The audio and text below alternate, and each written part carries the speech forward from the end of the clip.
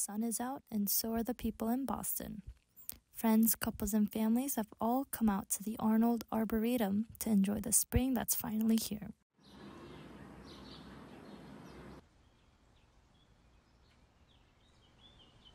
Out of the many visitors, I talked to Boston residents Alaya Mullah and Jamie Garrett. They stated it's their first day here, but they'll definitely come back for sure because of the scenery and vibes.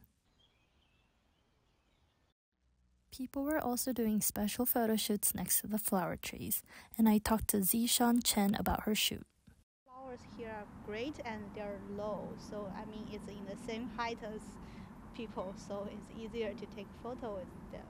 When I asked Zishan, she said that she visits this arboretum pretty often because of many reasons. Every spring, and I, I used to near uh, live nearby.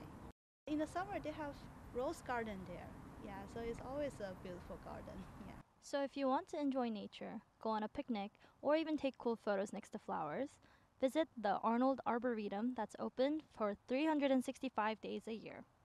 Reporting for BUTV News, this is Alice Lee.